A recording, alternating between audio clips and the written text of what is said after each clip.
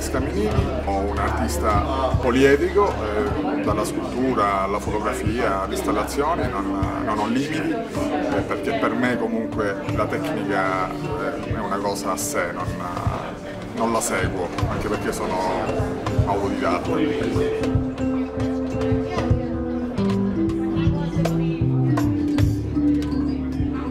Niente, sono qui per, per, questa esposizione sperando che Nuova Zelanda possa, possa attecchire mia, il mio linguaggio.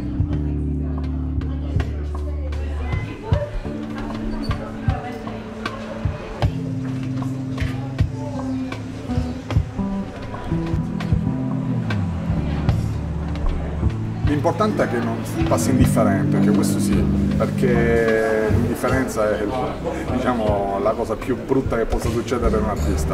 No, mi piace provocare, provocare so, emozioni so, di felicità, di libertà, di, di aggregazione, so, possono essere tante, ma l'importante è essere liberi davanti a un'opera, poi qualsiasi tipo di emozione va bene.